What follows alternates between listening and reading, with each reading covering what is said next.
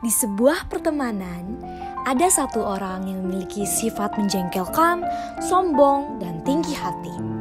Saat sedang bermain di taman, Della, Sofa, Kalista, Naila, dan Talita sedang berbincang mengenai ujian sekolah. Sofa, Della, Kalista, dan Talita mengajak Naila belajar bersama untuk ujian matematika. Namun, Naila menolak ajakan tersebut karena menganggap dirinya sudah pintar dan tidak perlu belajar. Saat ujian sudah selesai dan nilai ujian sudah keluar, Della, Sofa, Kalista, dan Talita mendapatkan nilai yang besar, sedangkan Naila mendapatkan nilai yang buruk.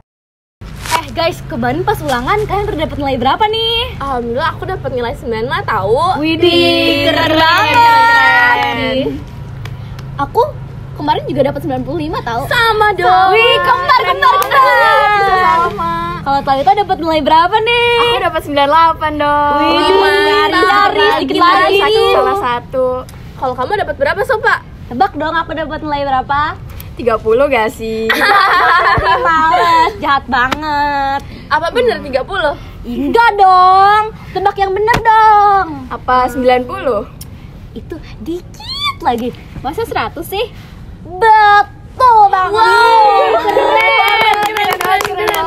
Alhamdulillah ya karena kemarin kita belajar bareng-bareng. Jadi aku banyak belajar dari kalian. Kalau Nela, kamu dapat nilai berapa?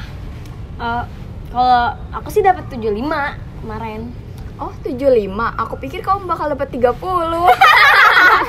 ya enggak lah, secara kan aku pinter, mana mungkin dapat 30. Kalau pinter mah dapat nilai 100, Nel. Eh, bisa aja sih dapat 100. Cuman kan kemarin karena emang gak belajar aja. Makanya belajar. Kan kita udah ajakin kamu juga buat belajar bareng-bareng. Aduh, gimana ya? Bukan yang gak mau belajar, tapi aku kan secara aku sibuk karena aku kan OSIS dan aku tuh eh, apa sih namanya kayak punya kegiatan lain gitu loh selain OSIS juga. Pokoknya aku sibuk banget deh.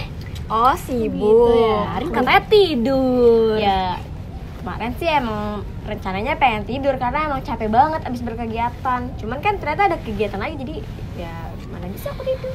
Untuk kemarin kita belajar ya, jadi Ya, nilai kita bagus. Kita sama kita dapat nilai yang memuaskan ya. Iya. Sombong banget sih kalian. Wah, dapat nilai segitu aja. Iri, bilang bos. Bagus nilai Itu kita. patut banggain kan Iya. karena kan kita belajar Kita Itu belajar apresiasi kemarin. diri kita. Iya. Usaha kita buat belajar bareng-bareng Apa sih kalian? Udahlah, gue mau cabut dulu. Bye.